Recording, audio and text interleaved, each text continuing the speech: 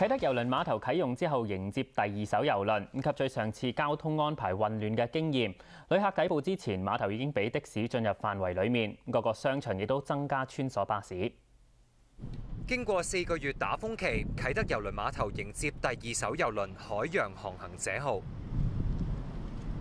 郵輪載有三千幾個乘客，主要嚟自澳洲同埋歐美國家，幾千人一次過出嚟，交通交匯處一度出現人龍。碼頭喺旅客抵港之前已經俾的士入嚟等客，但係的士唔多。船上面近一半旅客都參加咗郵輪公司安排嘅本地觀光遊，有旅客話會去多啲地方玩同埋買嘢。Going to the ladies' market? So what are you going to buy? Do some shopping. Do some shopping. Shirts, shoes, watches, anything. Walking about um, Ladies Lady Street and another tour. Yeah, we're going tonight. We're going to see the lights. 碼頭營運商就話，今次安排接載旅客嘅旅遊巴數目比上一次多咗三成。另外，亦都曾經同過的士業界開會商討細節，認為今次嘅安排暢順。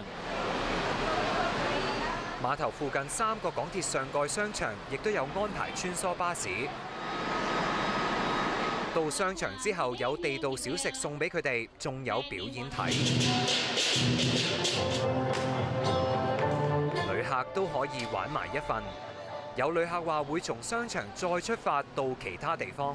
呢度咧，你要坐想坐地鐵去尖沙咀十分鐘啊嘛，係咪啊？啊，而家交通好方便啊！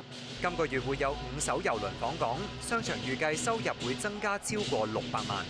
旅遊誒景點再加購物啦，好多旅客都話啊，因為我哋近地鐵站啦，佢話啊，我哋傍晚時間翻嚟買嘢，順便翻翻誒郵輪碼頭嘅時間呢，就比較鬆裕啲嘅時間，唔想太趕嘅。